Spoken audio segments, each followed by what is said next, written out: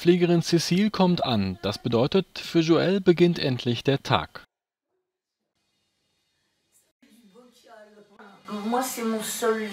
Sie sind meine einzige Verbindung zur Außenwelt und sie tun alles, was ich nicht machen kann, von A bis Z.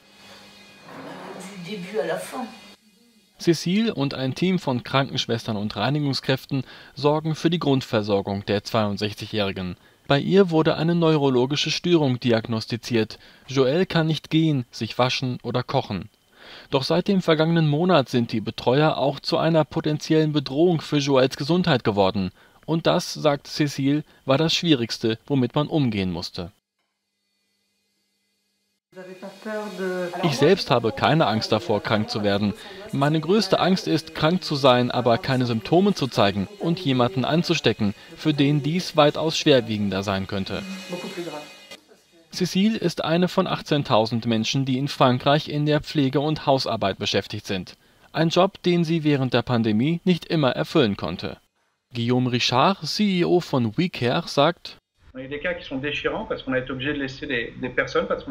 es gab herzzerreißende Fälle, weil wir gezwungen waren, Menschen zu verlassen, weil wir keine Schutzausrüstung hatten.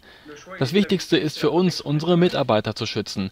Wenn das also nicht gewährleistet ist, informieren wir die regionale Gesundheitsbehörde und die lokalen Behörden und sagen ihnen, wir können nicht eingreifen. Also entweder Sie haben die Schutzausrüstung für uns, dann können wir unsere Arbeit ausführen, oder Sie haben sie nicht und wir können nicht helfen et on va pouvoir intervenir, soit vous n'avez pas ces éléments de protection et nous n'interviendrons pas. Allez, bonne journée à demain, Madame Merci. De rien, Die Coronavirus-Pandemie hat bislang weltweit mehr als 240.000 Menschenleben gekostet. Unter ihnen viele Mitarbeiter an vorderster Front, wie zum Beispiel Pflegekräfte, die ungeheuer wichtig für ältere Menschen und Menschen mit Behinderungen sind. Meist sind sie die unsichtbaren Arbeiter. Jetzt in der Krise wurden sie als wesentliche Teile der Gesellschaft wiederentdeckt.